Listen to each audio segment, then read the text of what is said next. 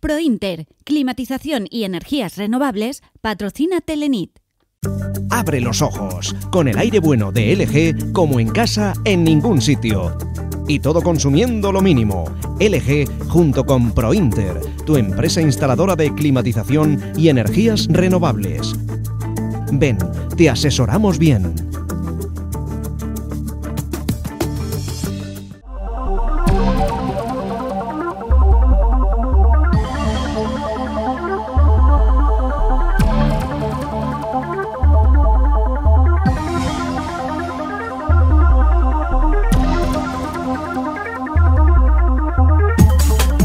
A Telenit en este jueves, en el que hemos conocido cuál es el reparto de competencias entre los concejales.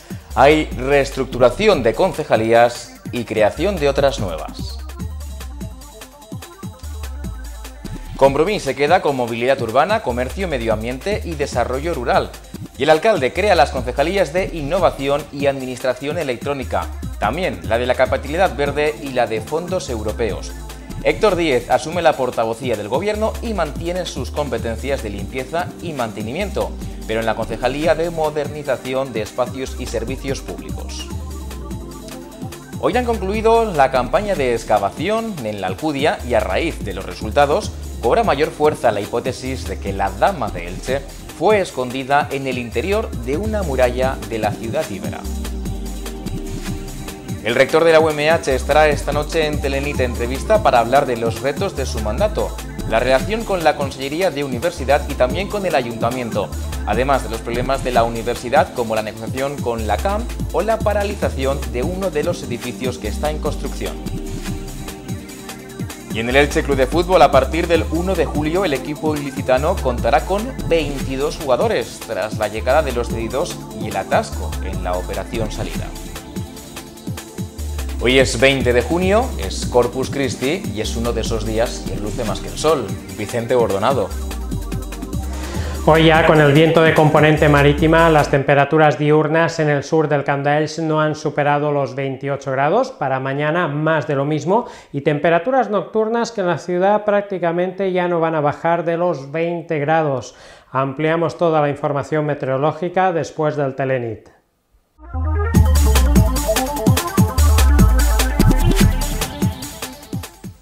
Después del acto de toma de posesión del pasado sábado, el alcalde, Carlos González, ha desvelado esta mañana el reparto de competencias entre los miembros de su nuevo gobierno. Y se han producido muchos cambios. Ana Aravid ha asumido desde hoy una de las carteras más importantes como es urbanismo, mientras que Patricia Macías deja educación y cultura y ahora tendrá gestión financiera y tributaria, es decir, lo que antes era Hacienda. No son los únicos cambios, ha habido más relación de concejales. El alcalde ha desvelado el reparto de competencias entre los miembros de su gobierno. Tras días de especulaciones, ha dado a conocer una lista que ha mantenido en secreto y que hasta hoy nadie conocía. Y entre los nombres muchos cambios y algunas sorpresas con el objetivo de que los pocos ediles que repetían no tuvieran las mismas competencias, aunque el único que lo ha hecho es Sector 10, con limpieza que ahora se llama modernización del espacio público y servicios municipales, además de mantenimiento y contratación pública. Ana Arabit asume urbanismo, capitalidad verde europea, territorio y fondos EDUSI, mientras que Patricia Macía deja educación y cultura para coger gestión financiera y tributaria, lo que antes era Hacienda. Entre los que se estrenan en el nuevo gobierno, María José Martínez asume Educación, Universidad y Escuelas Infantiles.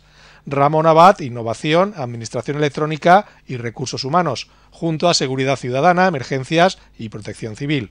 Por otra parte, Mariano Valera coge Igualdad, Derechos Sociales y Políticas Inclusivas. Mario Lagaliana, Fiestas, Sanidad, Consumo y Cooperación. Vicente Alberola, Deportes y Pedanías. Además, Marc Antón asume Cultura y Juventud. Carles Molina, promoción económica, desarrollo turístico y empleo y promoción lingüística. Y Purivive escoge mayores, participación y transparencia. Este es el decreto de distribución de competencias que firmaré dentro de unos instantes, del que mañana se dará cuenta a la Junta Local de Gobierno en ese acto de constitución y con esta importante decisión que hemos adoptado en el seno del Grupo Socialista y que, como digo, hemos compartido con nuestros socios de gobierno y con la dirección política del partido, con esta configuración, con esta distribución de competencias, comienza la andadura, comienza la andadura del nuevo gobierno municipal. El objetivo ahora, según el alcalde, es intentar aprobar el presupuesto de 2019 en el mes de julio. Bueno, tienen el nombre y la cara de todos los concejales en nuestra página web en un PDF que es descargable para que lo puedan tener y consultar durante estos cuatro años. El alcalde ha explicado que el criterio de distribución se basa en el objetivo de mejorar la ciudad y la calidad de vida de los licitanos en estos próximos años. Entre las nuevas áreas destaca la de innovación y administración electrónica o la dedicada al proyecto de la capitalidad verde europea que incluye también la de los fondos EDUSI. El gran número de concejales socialistas, 12, ha motivado una distribución muy diferente a la de la anterior legislatura, donde el PSOE contaba con ocho ediles y donde el principal objetivo es mejorar la ciudad y la calidad de vida de los licitanos. Una de las áreas de esta legislatura será la de innovación y administración electrónica. Según el alcalde, conecta con el objetivo de revolucionar la relación entre la Administración y el ciudadano para que sea más ágil y eficiente. Además, se ha creado el área de trabajo dirigida a la capitalidad verde europea, ya que ha dicho en estos cuatro años se centra los cimientos del proyecto de 2030. Evidentemente, tenemos innumerables objetivos de mejora de la calidad de los servicios públicos, innumerables objetivos mm, relacionados con la prosperidad económica, con la creación de empleo, con la promoción de nuestra economía y tenemos también innumerables objetivos eh, mm, de mejora también de la calidad del servicio que se presta a los ciudadanos, de los servicios que se prestan a los ciudadanos. Y todo eso lo hemos intentado reflejar en esta distribución de competencias que, yo creo que tiene un criterio fundamental y es mejorar la ciudad, y entre el nuevo nombramiento de las concejalías destaca la de modernización del espacio público y servicios municipales, antes llamado limpieza. Por otra parte, la hasta ahora denominada Hacienda será gestión financiera y tributaria. Bueno, además del reparto de concejalías, se ha conocido quienes formarán parte de la nueva Junta de Gobierno local, que se constituirá mañana y que contará con nueve tenientes de alcalde. El edil Héctor Díez será el nuevo portavoz y Ramón Abad el portavoz adjunto. Mañana se constituirá la nueva Junta de Gobierno local que estará formada por el alcalde y nueve tenientes de alcalde, un tercio del total de ediles del ayuntamiento. De esta forma, no todos los concejales del nuevo gobierno estarán en las habituales reuniones de los viernes. El orden queda establecido según su posición en la candidatura, a excepción de Antonio García, que será el tercer teniente de alcalde, según el acuerdo de gobierno establecido con Compromís. La primera teniente de alcalde será María José Martínez, seguida de Ramón Abad, Patricia Maciá, Mariano Valera, Mariola Galiana, Vicente Alberola, Ana Aravid y Héctor Díez. La Junta Local de Gobierno está constituida por el alcalde y por un tercio de los concejales, por nueve concejales y concejalas del Gobierno municipal. El portavoz de la Junta de Gobierno será Héctor Díez y Ramón Abad el portavoz adjunto. Bueno, hasta ahora hemos hablado de los concejales socialistas. En el acuerdo de gobierno, recordarán, se incluye el reparto de las áreas de comercio y sostenibilidad entre los concejales de Compromís. Tras la renuncia de Mireia Moya a su acta de concejal, se está a la espera de la toma de posesión de Feliz Sánchez para repartirse las competencias. A partir de entonces, Antonio García asumirá movilidad, tráfico y medio ambiente mientras que Felipe será el responsable de Comercio, Desarrollo Rural y Eficiencia Energética. Bueno, hoy se ha constituido, como han visto, el Grupo Municipal Socialista con los nuevos nombramientos y ayer la Ejecutiva Socialista se encargaba de designar al portavoz y portavoz adjunto del grupo. Ramón Abad ha sido nombrado como el portavoz adjunto mientras que el edil Héctor Díez será el portavoz del Grupo Socialista, además del portavoz del Gobierno. Díez ha señalado que es una nueva responsabilidad que asume con mucha ilusión y agradeciendo al partido su elección. Muchísima ilusión y por supuesto muy agradecido por la confianza depositada por parte de todas las mujeres y hombres del Partido Socialista y en especial de la Comisión Ejecutiva Municipal y de mis compañeros del nuevo grupo municipal que se constituirá hoy, dentro de, un rato. Y desde luego con el objetivo de tratar de hacerlo lo mejor posible y eh, en fin, de que se pueda establecer una dinámica lo más fluida posible entre el grupo municipal y los medios de comunicación en torno a todos los temas que, bueno, que se vayan sucediendo a lo largo de estos cuatro años. Bueno, tras la toma de posesión de los nuevos concejales de la Corporación Municipal el pasado sábado, representantes del sector empresarial, sindical y la sociedad civil participarán esta noche en el programa de debate de Teleelch El Análisis. El objetivo será realizar propuestas al nuevo equipo de gobierno formado por PSOE y Compromís de cara al crecimiento socioeconómico del municipio en este mandato que comienza. Como invitados acudirán la directora de Cedelco, Beatriz Serrano, también el empresario Bernardo Torres, el secretario de Empleo de Comisiones Obreras, Antonio Fernández y Esther Martínez de la plataforma Elche Piensa. Recuerden, el análisis se emite esta noche a partir de las 10 y 10 aquí en Teleelch.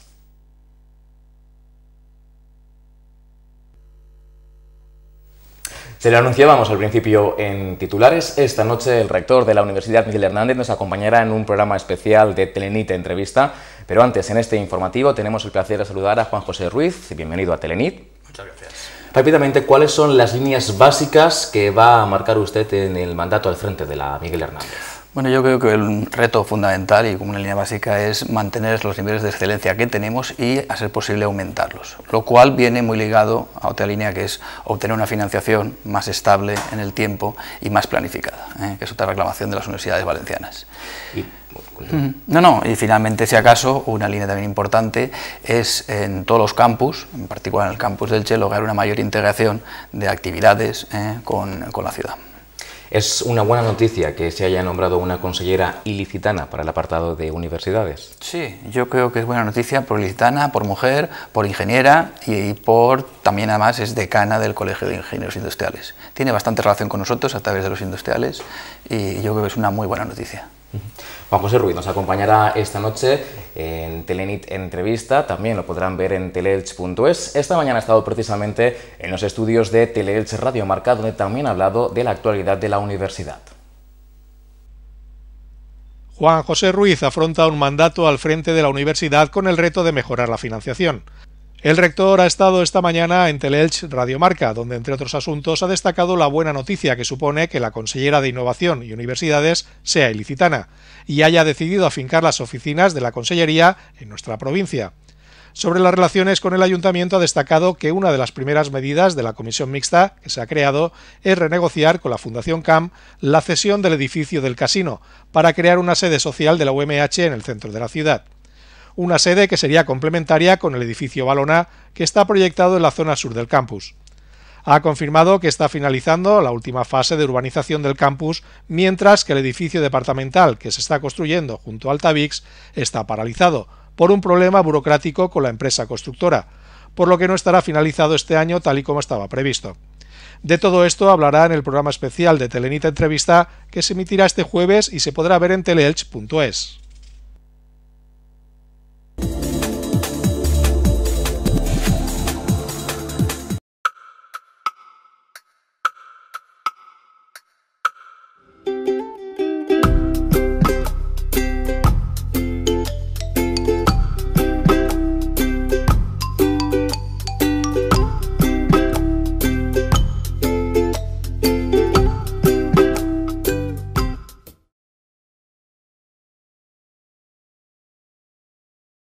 Vive las hogueras del Raval en directo.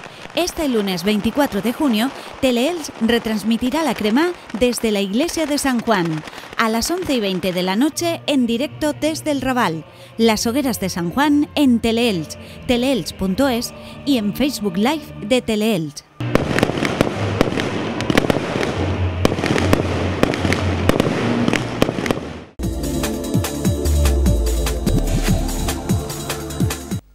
Seguimos en Telenit en este 20 de junio, jueves de Corpus Christi, pero además último día de la primavera. Mañana oficialmente comienza el verano. De hecho, hoy han terminado las clases en los colegios y han comenzado las vacaciones para miles de estudiantes que podrán disfrutar de las primeras fiestas, las de San Juan. Además, durante un fin de semana más largo, ya que será festivo el lunes 24 en toda la comunidad valenciana. El dispositivo de limpieza y seguridad ya está preparado para recuperar las playas después de la noche de San Juan. Al ser el lunes festivo, se espera una mayor afluencia de personas en las playas de Elche durante la noche del 23 al 24 de junio. El portavoz socialista Héctor Díez, junto al gerente de Urbaser, han presentado el dispositivo de limpieza que se ha reforzado con motivo de la noche de San Juan. El edil ha recordado la prohibición de hacer hogueras en los lugares más sensibles del litoral, como son las dunas y pinadas. También está prohibido el uso de envases de cristal y la entrada a la playa de objetos peligrosos como madera con clavos o con pintura tóxica se recomienda y está prohibido llevar a las playas cualquier tipo de envase de vidrio, sobre todo por los problemas que puede generar al día siguiente si se abandona en la playa, cosa que no hay que hacer. Se va a reforzar con papeleras y con contenedores todos los accesos eh, a las playas para que una vez se finalice la noche de San Juan, pues la gente pueda recoger la basura y depositarla con facilidad y al mismo tiempo también va a estar totalmente prohibido realizar fuego en las zonas de dunas y en las de eh, pinadas. Urbaser reforzará la plantilla de personal y la maquinaria comenzará a las cinco y media de la mañana el trabajo, por lo que ha pedido la colaboración ciudadana para que cuanto antes abandonen las playas. El pasado año se retiraron en esa noche 15 toneladas de basura y que todo el mundo entienda que cuando antes de las cinco y media de la mañana no podemos entrar a limpiar una playa porque se está disfrutando de esa noche de hogueras, hay que entender que el día siguiente es festivo y mucha gente temprano va a bajar también a disfrutar de la playa. Entonces, nuestro tiempo de respuesta es muy pequeño. Por eso es muy necesaria la colaboración de retirar esos residuos que se han llevado a, esa noche para disfrutar de, las hogueras. Y esta imagen que es la que estamos destacando, que ya el año pasado se puso en las redes sociales, es una foto del año pasado. Es una foto real de cómo nos encontramos una playa. Por ello se colocarán más contenedores y papeleras en los accesos de las playas. En cuanto a la seguridad, Policía Local, Nacional y Guardia Civil van a realizar controles preventivos en los accesos a las playas. Se va a cerrar al tráfico el camino del Carabasí a partir de las 6 de la tarde y se prohibirá el aparcamiento a ambos lados de las vías antes de los accesos de las playas. La policía local ha preparado un dispositivo en el que se determinan las zonas en las que va a estar prohibido aparcar y las zonas habilitadas para ello. Además, desde las 6 de la tarde del domingo estará cerrado al tráfico el camino de la playa del Carabasí. Los agentes reforzarán los controles preventivos en los accesos a las playas en colaboración con la Policía Nacional y Guardia Civil. Además, se instalará un dispensario médico en Arenales, se reforzará las líneas de autobús y vigilancia en las paradas, y contarán con la colaboración de bomberos y los voluntarios de protección civil y día. Todo ello de cara a la noche de San Juan, del domingo al lunes, la noche del 23 de junio. Por cierto, que para esa noche la formación política Decídete el Altet ha pedido al Ayuntamiento y a Consellería que prohíban las hogueras en las playas de esta pedanía.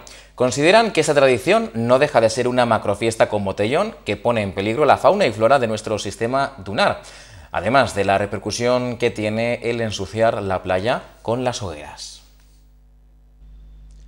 El partido político Decídete el Altez se ha mostrado totalmente en contra de que las hogueras de la noche de San Juan se celebren en las playas.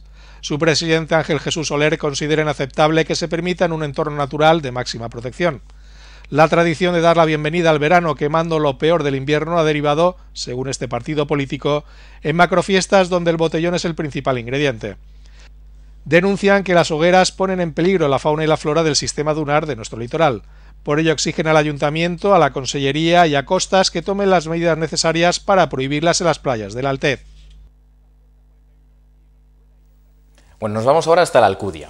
La dama de Elche, cuando se encontró, estaba oculta dentro de lo que era una muralla para protegerla. Es una de las hipótesis que se baraja tras finalizar los trabajos de excavación en la Alcudia. Desde el lugar donde se halló el busto íbero nos da sin más información nuestra compañera Itziar Martínez. Han finalizado dos de las tres excavaciones realizadas en la Alcudia y hasta el momento solo se ha excavado en el 10% de todo este espacio arqueológico. En estos últimos trabajos han descubierto un lienzo de muralla y también parte de casas romanas. No se puede confirmar, pero es una hipótesis. La Dama del Che podría estar oculta dentro de esa muralla. Tras finalizar los trabajos de excavación en la Alcudia, una de las hipótesis es que el busto íbero estuviera oculto dentro de un lienzo de muralla con el fin de protegerla. Es una posibilidad bastante acertada para los arqueólogos, aunque no se puede confirmar. Puesto que no hay documentación gráfica ni arqueológica del momento de la, aparición de la dama de forma fortuita en aquel momento, todo lo que podemos hacer sobre eso son conjeturas. Y en función de, todo de todas las informaciones que tenemos, eh, podría ser que, eh, en función de lo que hemos encontrado a lo largo de esos 60 metros de todo este frente, que el, el busto se hubiese ocultado eh, en ese lienzo de muralla. En la excavación situada en el mismo lugar donde se encontró la dama de Elche, que finaliza mañana, han descubierto además del lienzo de muralla pavimento de casas romanas, así como objetos artísticos o de propaganda de la época. Hemos encontrado enterramientos eh, de época visigoda, es decir, del último momento de ocupación de, este enclave, en el momento justo coincidiendo cuando la población se asienta en el Elche actual, en época islámica. Hemos encontrado eh, pavimentos de, casas romanas, de época romana. Hemos encontrado eh, determinadas eh, ocultaciones, objetos de época romana más antigua, tardo-republicana, que nos han dado también mucha información sobre determinados aspectos de la historia del, arte, de la propaganda, de la iconografía de época ibérica final y de época romana republicana. Y finalmente hemos encontrado un lienzo de muralla que parece ser se correspondería con una, con una época eh, más antigua a todo lo que acabo a todo lo que acabo de decir, pero que estamos todavía eh, esperando a, a datar con precisión, que ya de por sí tiene un valor patrimonial muy elevado.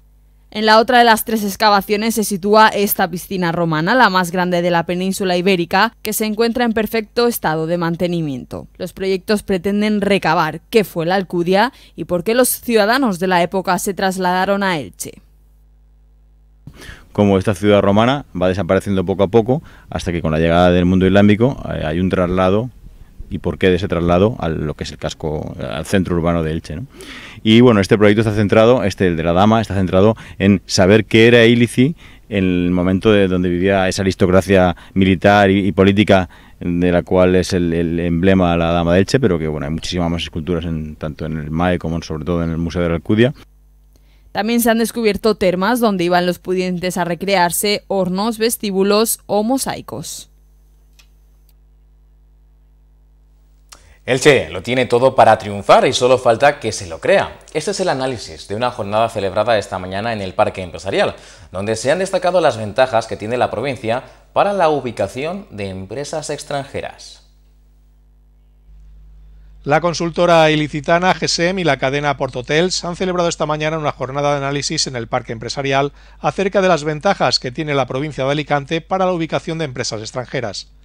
Desde GESEM destacan que esta zona es un polo de atracción de ocio, negocio, pero también de industria, turismo o construcción.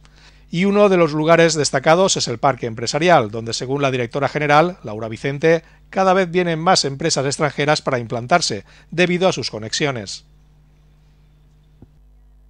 Desde el despacho lo que estamos viendo es que hay muchas empresas extranjeras que vienen a ubicarse eh, normalmente en el parque empresarial de, Elche, de Torrellano, básicamente por las conexiones que tiene, es decir, eh, el aeropuerto, el puerto, la red de carreteras. Lo interesante del desarrollo digital y por lo tanto del campus tecnológico de distrito digital es que, eh, y también ha salido antes un poquito en el debate, ¿no? que, que la digitalización es real, que cuando hablamos de que tenemos que automatizar procesos, invertir ese 7% de inversión que está haciendo el tejido empresarial, según decían los datos de la COE, es real y lo que, lo que pretende es producir más con este, con este talento. ¿no? hay empresas que están eh, buscando ubicarse eh, en campus tecnológico o en distrito digital. Lo importante es que creemos ese tejido y que lo unamos, porque las herramientas las tenemos. Según Laura Vicente, el parque empresarial es un punto neurálgico y ha dicho que si funcionó para la industria también lo hará en la parte digital, con la llegada, por ejemplo, del campus tecnológico. Por su parte, el director general de Port Hotels, Rafael Blanquer, ha destacado la apuesta fuerte de su cadena hotelera por Elche, una ciudad que tiene todo para triunfar, pero solo falta que se lo crea. Además ha dicho que debería fijarse en Málaga por el cambio que ha experimentado. Que no lo creamos, el problema es que no lo creamos. En Elche se lo creyó la ciudad, se lo creyeron los dirigentes, han apostado el ayuntamiento ha ayudado, lo que decimos aquí en Elche, que es lo mismo, por el tema cultural, ha creado unos museos bestiales, aquí casi los tenemos, nos faltaría a lo mejor el apoyo de la dama, pero casi los tenemos, por eso nos falta creérnoslo y dar ese impulso, pero hay un binomio ahí en, en esa ciudad de ocio desde luego por el clima, que es un clima parecido al nuestro, y del negocio, y ahí también hay mucho negocio. La colaboración ciudadana ha sido clave para detener a cuatro ladrones.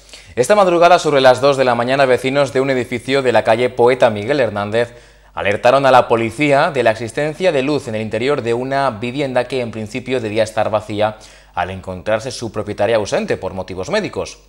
Agentes de la policía local y nacional se desplazaron hasta el lugar de los hechos y sorprendieron a dos varones en el interior de la vivienda. Uno de ellos incluso intentó arrancar una caja fuerte. Otros dos miembros de esta banda fueron interceptados en el acceso a la terraza comunitaria. Los cuatro detenidos de entre 32 y 36 años han sido detenidos. Y acabamos hablando del Festival de Cine Independiente de Elche, que ya cuenta con el cartel anunciador de esta edición, la 42, que se celebrará del 19 al 26 de julio en el Oro del Chocolater y en la playa de Arenales. El jurado del festival ha seleccionado la obra del alumno de Bellas Artes de la UMH, Marcos Pastor, denominada Sombras, para presentar la edición de este año que ha vuelto a registrar una gran participación con más de 5.300 cortometrajes de todo el mundo.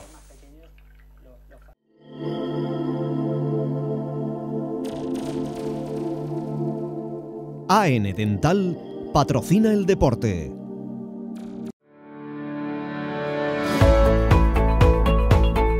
En AN Dental queremos estar a su lado para conseguir juntos un claro objetivo, que no oculte su sonrisa. Cada uno de nuestros pacientes merece sonreír con total tranquilidad sabiendo que está en las mejores manos. AN Dental. Su sonrisa es nuestra pasión. Hola, buenas noches. El Elche Club de Fútbol sigue con la planificación para la próxima temporada de una plantilla en la que ahora mismo hay excedentes overbooking para Nico Rodríguez, director deportivo, que sabe que con contrato en vigor se va a juntar con más de 23-24 jugadores eh, en este final de mes de junio. De todos los cedidos, que eran muchos, 11, algunos ya eh, se llegó a acuerdos de, para desvincularse, llámese Borja, perdón, Benja, que seguirá en el Hércules, ascienda o no el conjunto Alicantino, Collantes, Provencio, Lolo Pla, con los que se ha llegado a acuerdos económicos. Otros volverán, pero muy pocos se van a quedar para hacer pretemporada. Lo que sí es cierto es que ahora mismo el Elche tiene eh, entre unos y otros a 26 futbolistas con contrato en vigor y tendrá que deshacer muchas posiciones para reforzar la plantilla con otros 6 o 7 jugadores de cara a la próxima campaña. Overbooking en la plantilla del Elche Club de Fútbol. A partir del 1 de julio el equipo ilicitano contará con 22 jugadores tras la llegada de los cedidos y el atasco en la operación salida. La dirección deportiva del Elche trabaja para firmar los 6 o 7 fichajes que hacen falta para cerrar el equipo de la temporada 19-20, aunque la realidad es que ahora mismo el club tiene overbooking de futbolistas. A pesar de que el objetivo es confeccionar una plantilla corta de unos 21 jugadores, a partir del 1 de julio Pacheta tendrá 22 con contrato para el curso que viene, eso sin contar con los fichajes que todavía han de realizarse. La primera plantilla está formada por 18 jugadores con contrato la próxima campaña. De estos, Jesús Olmo y sobre todo Johnny Ñíguez no cuentan y se les busca una salida. A estos jugadores hay que sumar el regreso de cuatro de los once cedidos que el club ha tenido en Segunda B. Primi, Lolo Pla, Iván Calero y Claudio Medina volverán para iniciar la pretemporada, aunque los que más posibilidades reales tienen de quedarse son los dos últimos, Calero y Claudio Medina.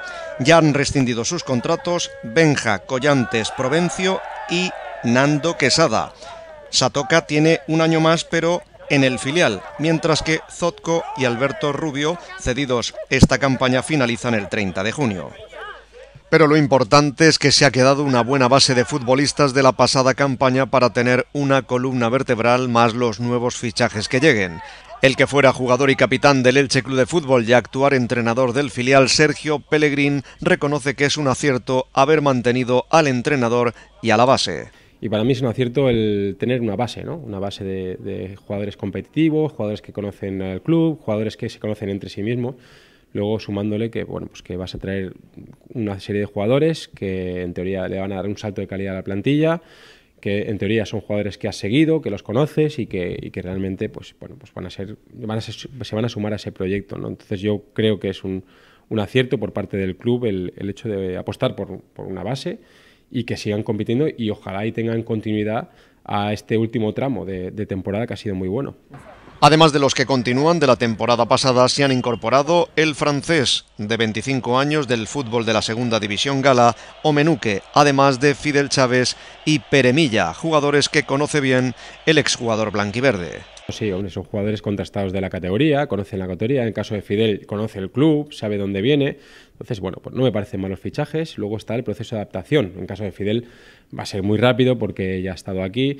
Peremilla, pues me imagino, yo lo conozco de haber jugado contra él y considero que es un chico que, le va a aportar al club, entonces, bueno, pues considero que, son aciertos. Ahora, eh, valorar si mejoran o empeoran lo que había antes, bueno, pues eso es difícil, ¿no? Eso lo dirá el tiempo, lo dirá eh, sobre todo el rendimiento que tengan en el, campo y es un trabajo del entrenador, eh, de trabajarlos bien, de que se adapten a la plantilla y y que den un buen rendimiento al, al equipo. No, Peremilla considero que es un, un jugador que puede jugar en, en, varias posiciones en el campo, es un jugador inteligente, es un jugador, lo considero que es un tío serio, un tío que, que cumple y realmente pues es un jugador que le puede venir perfectamente al, al Elche. Desde el club no se lanza ni mucho menos el mensaje de que esta temporada hay que luchar por el ascenso, sino por los 50 puntos para conseguirlos cuanto antes y a partir de ahí soñar. Sin embargo, para Sergio Pellegrín, lo de los 50 puntos también es un error. No, no, no estoy de acuerdo. No estoy de acuerdo que el objetivo tenga que ser ningún, ningún número de puntos. Yo, el, lo, el objetivo tiene que ser conseguir los tres primeros. No soy amigo de, las, de los objetivos a largo plazo ni de los 50 ni de los 80. Creo que el objetivo tiene que ser hacer un equipo muy competitivo, prepararlo muy bien y, y salir el primer partido cuando pite el árbitro al inicio, salir a, a ganar y sea quien sea el, el, rival que se ponga enfrente. La gente pues necesita ilusionarse y considero que está en su derecho y es normal. Dentro del equipo hay que trabajar con mucha cautela, con mucha cabeza, eh, tener la sangre fría de, de preparar bien los partidos, de saber dónde estás compitiendo y la gente tiene que saber que esta categoría es muy difícil, pero exigente tiene que ser siempre. Eh, yo lo he dicho antes, digo, el primer partido tres puntos y hay que, hay que exigir. Creo que la afición está en el derecho de exigir que el equipo se deje la vida para conseguir los tres puntos. Otra cosa ya es lo que pase a final de temporada, que eso queda muy lejos y pueden pasar mil cosas, pero exigir tiene la actualidad de un Elche Club de Fútbol que conoce bien, por ejemplo, Sergio Pellegrín, un jugador que ha sido eh, sin duda importante en las últimas eh, temporadas hasta su retirada en la historia del Elche con su ascenso a Primera División, con su participación en Primera y que ahora mismo es el entrenador del filial y que conoce perfectamente la casa blanquiverde. Nosotros ponemos el punto final. Mañana viernes volvemos eh, con toda la información deportiva aquí en el Telenit. Buenas noches. En AN Dental queremos estar a su lado para conseguir juntos un claro objetivo, que no oculte su sonrisa. Cada uno de nuestros pacientes merece sonreír con total tranquilidad sabiendo que está en las mejores manos. AN Dental. Su sonrisa es nuestra pasión.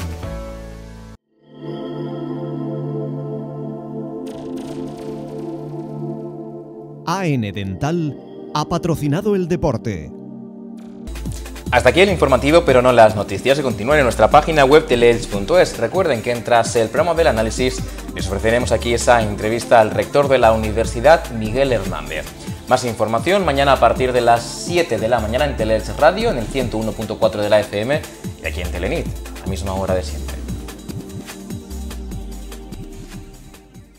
Inter, climatización y energías renovables, patrocina Telenit.